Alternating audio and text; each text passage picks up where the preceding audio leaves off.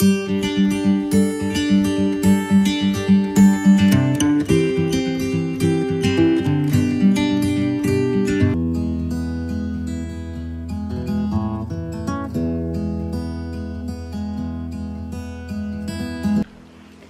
guys, good morning. Today is October 10, 2020 and what I have here is pregnancy test. So, um, actually, plan na naman talaga namin. Ah, gusto na namin. Pero alam mo yun, kapag first timer siguro, makaka-feel ka talaga ng kaba. Alam mo yun, dami. Ah, naisip mo na yung mga responsibility, ganyan. Ah, sabi ko kasi, namin na kasi, uh, magta-31 na kasi ako this year. Eh, sabi ko, kaya ako, ah, sabi ko, pag 31 na ako, gusto ko nung magka-baby. Kasi, ayaw ko mahirapan one day. So, first time ko kasi na-delay na uh, it's already 13 days na delayed ako. So, actually, nung one week pa lang ako na-delayed, uh, I was so very worried na nag-worry ako kasi ako mababiyahe ako, ganyan. So, sabi ko, dapat alam ko para alam ko din kung ano yung kinakain ko. Although alcohol, hindi naman ako minom ng alcohol talaga. Kaya gusto ko mag-test. So, ayun, itatry natin.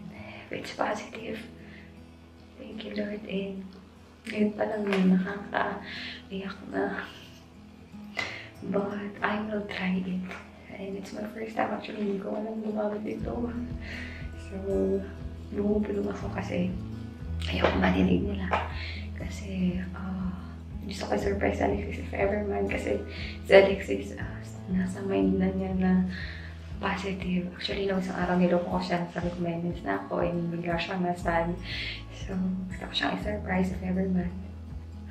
So, try natin. I will, I want to film it. I want to uh, film this journey. I want to document this journey. Kasi isa to sa pinaka-importante. Alam mo yung pag nagsasalita ko ngayon, feeling ko parang positive na yun. But positive or not, it's okay. Pero feeling ko kasi positive. So, ayan. Guys, katatapos ko lang mag-test. Actually,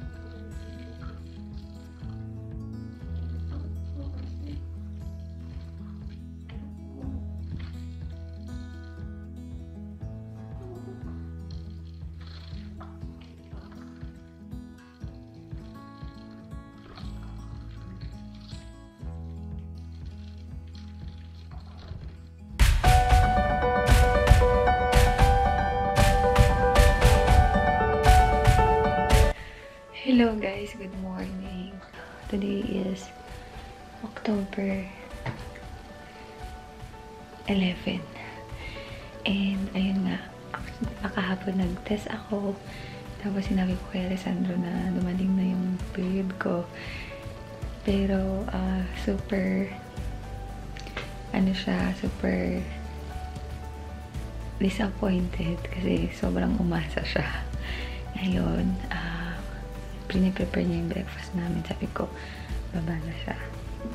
Prepare ko lang yung ngayon ko na sasabihin kasi kulit niya eh. Pinipilit niya na mayroon daw. So, ayoko nang patagalin kasi mamaya sana yun. Pag aalis kami, kailan ngayon na kagigising ko na guys, pasensya na kayo. So, ayan. Lalagay ko siya dito hindi ano kung binili sa kanya.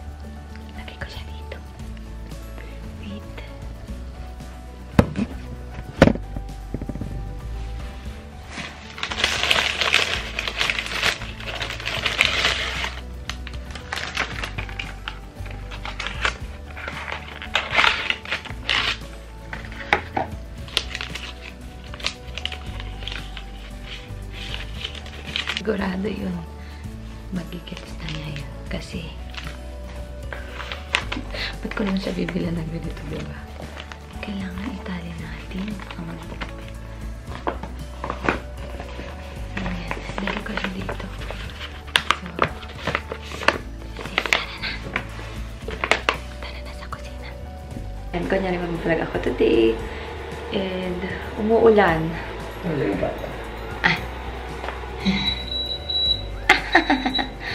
mga aso namin tsaka po. Basta ka, doon ka, doon ka. La, kdo po, mo. Kebab. Yan. Kakain kami ng kebab. Kaya vlog ko kayo, guys. Kasi, um, super clean na hair ko, no? So, Alessandro nag-prepare siya ng aming breakfast. Amo, dove l'hai preparato la mia? Ah, sto aspettando, no,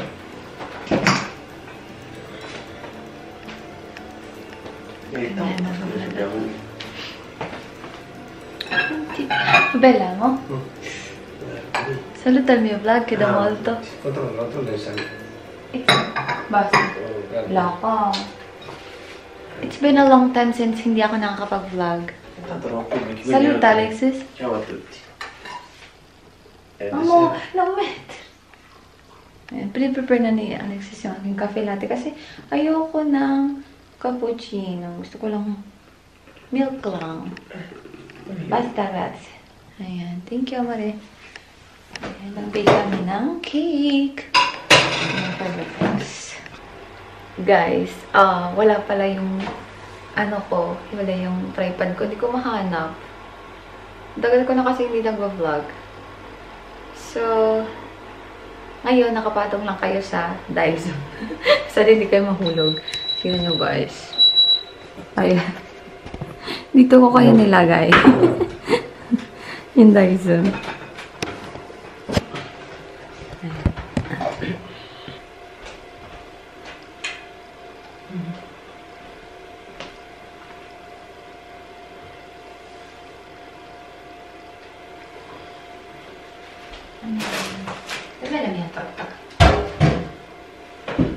Dove la كل طرف تهنا أربعة عشر طرف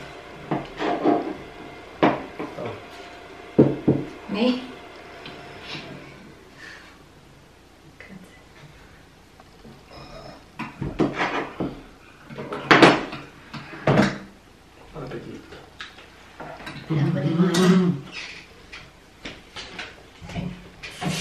عندك دوك واحدة واحدة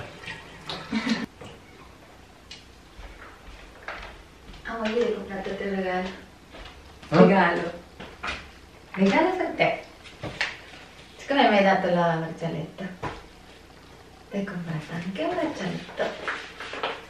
E ti diamo benvenuta. Così siamo uguali.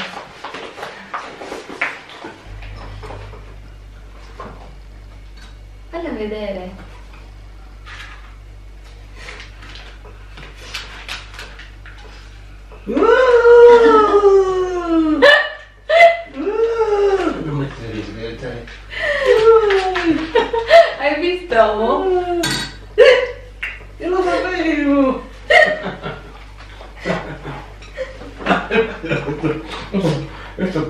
Detto. Quando è andato a fare?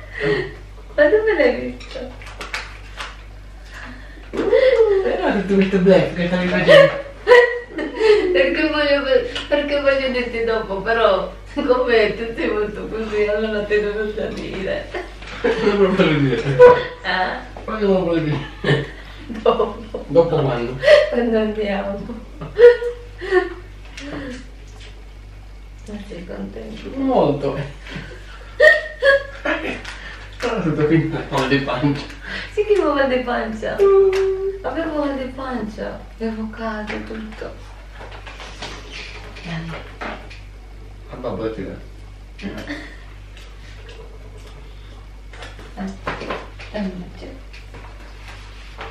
Comunicare volete, perché non prendevo. Ma questo non commentare. Eh? Non commentare. Allora finisce tu. Sì, parlo da 5 minuti.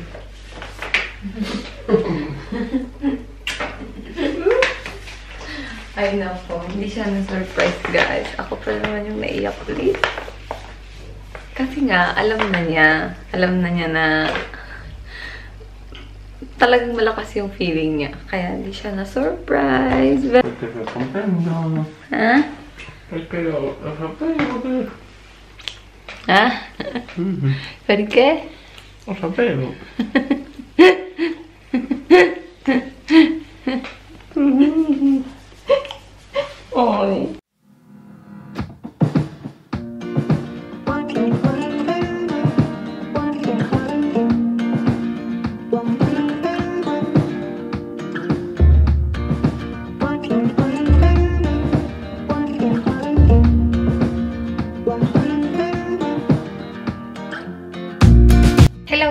morning and today is December 11, 2020. So today is my birthday. Yes.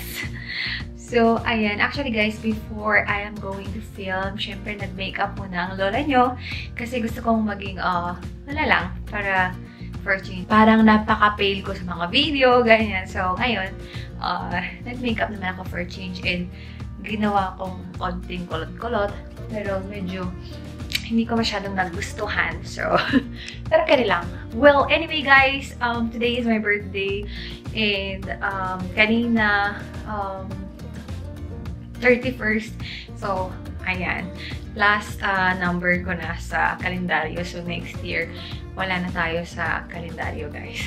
So, anyway, uh, itong plate na to ay insert ko bago Uh, so first, ilalagay ko yung kung paano namin na-discover na I'm pregnant and ayun. So yes, I'm pregnant guys and I'm so happy because um, this is my happiest birthday. Uh, one of my happiest birthday, syempre. And kasi um, ang ganda ng gift na binigay sa atin ni Lord. And I'm so happy and uh, I'm so thankful. And uh, grabe, I didn't plan na, I mean, it's my, uh, yung sinasabi ko dati na sana pag 31 na ako, magkakaroon na ako ng baby. So, before my 31st, syempre nalaman ko na na I'm pregnant. And, yes, um, bag 31 ko na, so June, I am going to have my baby na. So, I am so very happy and I'm so very, very, very thankful talaga um, no words, no words can uh, describe how I am feeling right now. And, uh, ayun, actually, wala, napaka-speechless na madalda. But, ayun, uh, today is my birthday. Um, I promise, um, Um, actually guys, kaya ngayon ko lang ina-announce yung aking uh, pregnancy because dito kasi sa Italy or I don't know sa mga ibang lugar, meron kasing uh, pamahiin na uh, bago dapat tapusin mo na yung first trimester bago uh, sabihin uh, kung gusto mong ipaalam sa madla or kung gusto mong ipaalam sa mga ibang tao na buntis ka. So, kailangan tapusin mo na yung first trimester para, syempre, alam mo na, first trimester, marami pang mangyayari. So, ayun. Actually, today is my 15 weeks and 3 days. So, 15 weeks and 3 days na yung baby ko. So, later, I am going to show you guys my baby bump. And let's go. my baby is growing inside. And, uh, alam mo yun, nakaka-excite every day na Actually, nung na-discover ko na buntis ako, um, I want to parang araw-araw gusto mo na may baby bump ka. Pag malaki yung chan mo, sobrang happy mo. Kahit na hindi pa naman ganun kalaki, pero pinapalaki mo ganun. But today is uh, getting real na talaga na as in lumalaki na talaga yung aking chan. And ayan, so kanina may dumating na delivery man and si Alexis, nasa work kasi si Alexis. So may pakulo siyang pa-flowers. Sabi ko naman sa kanya na hindi ko na kailangan ng flowers kasi alam mo na practical ang lola nyo. So every time na may pa-flowers, lagi ko iniisip na pera. so, parang sayang lang ganun. Pero, syempre, alam mo yun, yung kahit na you always, na, lagi mo sinasabi na, uh, wag ng flowers, ganyan. Pero, iba pa rin yung feeling na nasa-surprise ka, ganun. So, wala lang, nakaka-happy. So, ayun guys, uh, yes, I'm pregnant and uh, I'm so happy. We are so very happy. Sayang lang at wala si Alessandro and uh, si Alexis. Sayang lang at wala si Alexis kasi nasa work siya and I'm doing the announcement on my own. So, ayan. Anyway, guys, um, I'm so happy to share with you my, uh, wala, I'm happy to share with you this good news. I hope na natuwa kayo. Siyempre, guys, nung una, nung nalaman ko, pinaalam ko na sa family ko and sa mga close friends ko. So, bago ko man i-announce, syempre, sinabihan ko na yung, uh, most of all, yung mga sisters ko, mga kapatid ko, yung parents ko, and mga mga in-laws ko. Ayun, syempre, sinabihan na namin sila. So, ngayon, we are waiting na lang if uh, it's a baby boy or it's a baby girl.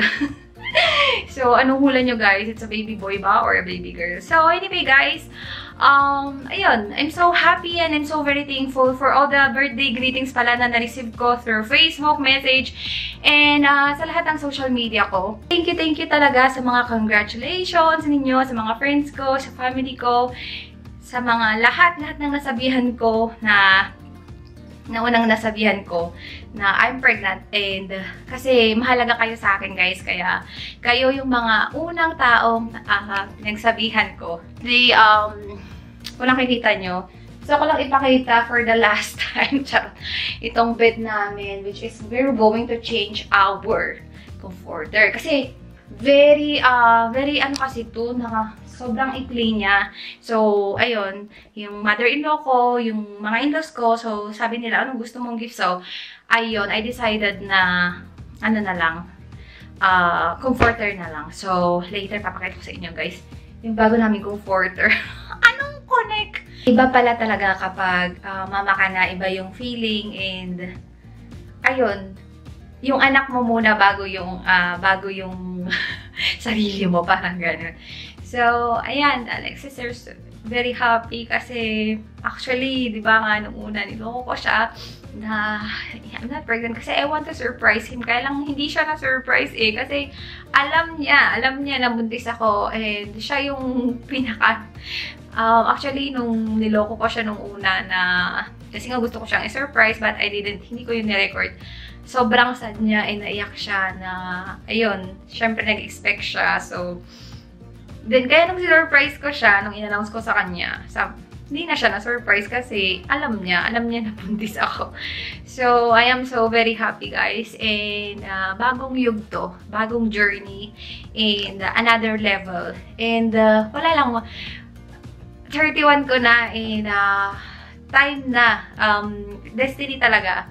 Time na for me to have my own family and to have my own baby. And I'm so very excited. So, baby boy man yan or baby girl. And uh, as long as healthy, yun lang yung laging pinapipray na sana healthy yung baby ko inside and na ayun na maging okay yung uh, pregnancy uh, journey ko na si Lord na yung bahala sa amin ng baby ko na maging okay kami. Na maging okay kami ng baby ko. And, ayun, uh, sumusunod naman ako sa doktor. And, um, sa ngayon, wala pa naman akong mga masyadong crave na food na in yun talaga yung gusto ko. But, uh, alam niyo naman, pag mga pag Pinay ka or OFW ka na, you're living uh, abroad, uh, you're always craving for Pinoy food. So, ako ngayon, everyday gusto ko talaga ng Pinoy food. Rice, rice, rice, ganyan. And gusto ko lagi may sausawan na tuyo. so, ayun guys. So, I'm ending this vlog right now and I'm so very thankful. Later, kung uh, dadating si Alexi, siguro, uh, pwede akong uh, pwede siyang magsalita ng very, very light sa inyo. And, but I can promise, um, si eh, Alessandro, excited na siyang i-announce. Kaya lang sabi ko, itaon na lang natin sa birthday ko kasi ganoon din naman yun. And, ayun nga, best birthday gift for me is my baby. And I'm so very happy. Ayoko kumiyak kasi uh, iyak na ako ng iyak eh. Napakaiyakin ko. Kaya lang gusto kong, ayokong umiyak. And, ayun. Sobrang saya ko lang talaga guys. Kasi, hindi ko in-expect na ganito talaga yung feeling pala. Ganito pala yung feeling. So, I'm so very thankful, lalo na sa mga in-laws ko, kasi, lalo na sa mother-in-law ko. Kasi, uh, siya talaga yung nag-aalaga sa akin. Kasi, mga first 3 months ko, uh, maselan talaga yung pagbubuntis ko. Nausea, uh, ganyan, vomiting and all. Hanggang ngayon, na uh, tapos ako sa first trimester, um, nausya pa din, tsaka ano. Pero, thank you sa mother-in-law ko kasi uh, yung mama ko, everyday kong kausap kasi kapag masakit yung ulo ko, ayan, gusto kong kausap. So, yung mama ko lagi kong kausap. Yun, kapag gusto ko lang nasa bed lang ako, nasa bed, ano mo yun, tinatamad ka lagi, gano'n. Ang dami, dami, daming changes talaga na, um, ayun, buti na lang uh, din at hindi ako nag-work right now kasi kung mag-work man ako, hindi din uh, advisable kasi nga, uh, maselan nga yung pagbubuntis ko. Um, I'm on my 15 weeks now and 3 times na akong nakapag-ultrasound. Uh, Alam mo yon yung every ultrasound, very excited ka na makita yung baby mo kasi wala lang. Kung pwede lang every week na may ultrasound or every day para lagi mo nakikita yung baby. Pero hindi naman pwede yun, di ba? Kasi Depende na lang siguro kung madami kang perang pambayad sa ultrasound. Parang feeling ko lang gusto ko lang, gusto ko lang lagi na nakita siya. Kasi every time na nakikita ko siya, talagang lagi akong umiiyak. kasi siguro sa sobrang saya and uh, I can't wait. I can't wait to see my baby. But uh, my best friend told me na enjoy ko lang daw yung pregnancy ko. Eh, kasi mamimiss ko daw to. So, everyday talagang sinasamsam ko talaga yung uh, pregnancy moment ko. So, ayan guys, and I'm, dami ko nang nasabi, speechless, pero dami ko nang nasabi, and I just wanna thank you guys for everything, sa mga nag-congratulate sa akin, at sa mga mag-congratulate pa ngayon, alam niyo, nagbuntis ako, yes!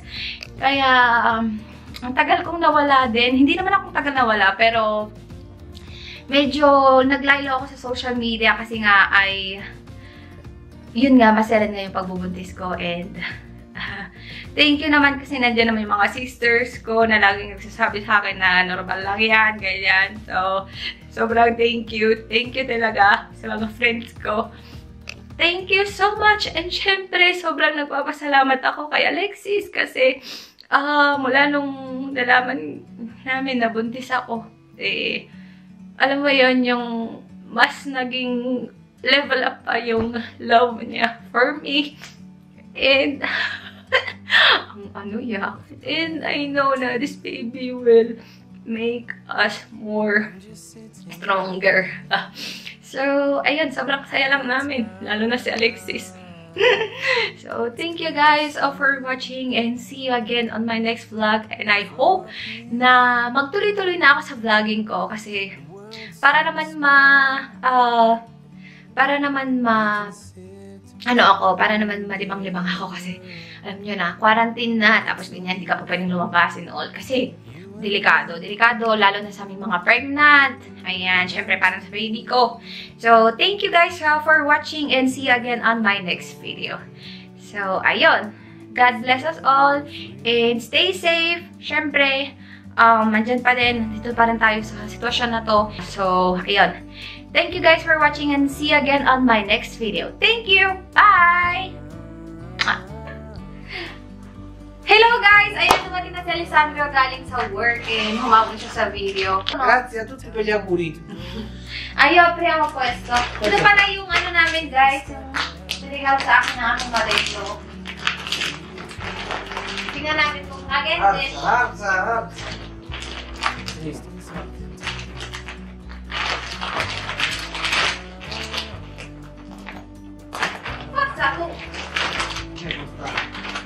Wow. Bello. Later lalagay namin ito. Pakita Lo namin. mettiamo sa anche video. la retta. Yes. Bye, comment.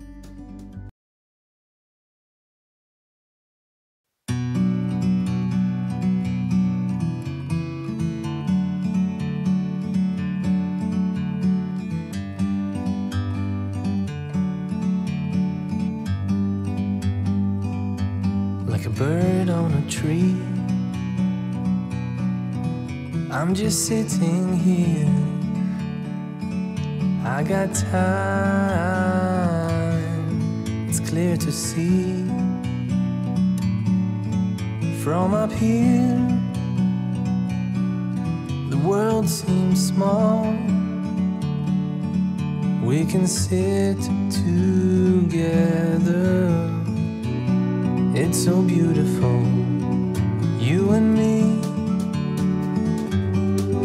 meant to be in the great outdoors, forever free.